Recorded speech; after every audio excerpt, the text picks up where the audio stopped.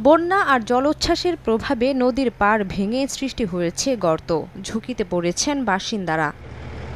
পিরোজপুর জেলায় প্রায় সাড়ে পাঁচশো কিলোমিটার বেড়ি বাঁধের প্রয়োজন থাকলেও আছে মাত্র তিনশো উনপঞ্চাশ কিলোমিটার বাঁধ। টেকসই বেড়ি বাঁধ না থাকায় প্লাবিত হচ্ছে নতুন নতুন এলাকা। ঝুঁকিতে পড়ছে ঘরবাড়ি, ফসলি জমি, শিক্ষা প্রতিষ্ঠান সহ বিভিন্ন স্থাপনা। দুর্যোগপূর্ণ আবহাওয়ায় আতঙ্কে থাকেন এলাকার মানুষ। তাই দ্রুত টেকসই বাঁধ নির্মাণের দাবি তাদের। বেকুটিয়া ফেরিঘাট হইতে হুলারহাট পর্যন্ত ভেরিবাদ নাই।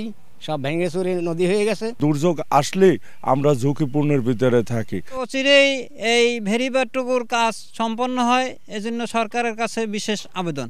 এদিকে নতুন বেড়িবাঁধ নির্মাণ ও ভাঙা বেড়িবাঁধগুলো সংস্কারের জন্য প্রকল্প প্রতিবেদন জমা দেওয়া হয়েছে বলে জানায় পানি উন্নয়ন বোর্ড। যে প্রকল্পগুলো আমরা জমা দিয়েছি এই প্রকল্পগুলো যদি খুব শীঘ্রই অনুমোদন হয় তাহলে এটা এগুলো ডিভিশন থেকে খুব দ্রুতই বাস্তবায়ন করা সম্ভব হবে। জেলায় একশো চুয়াল্লিশ কিলোমিটার বেড়িবাঁধই ঝুঁকির মধ্যে বলে জানায় এলাকাবাসী। সময় সংবাদ পিরোজপুর।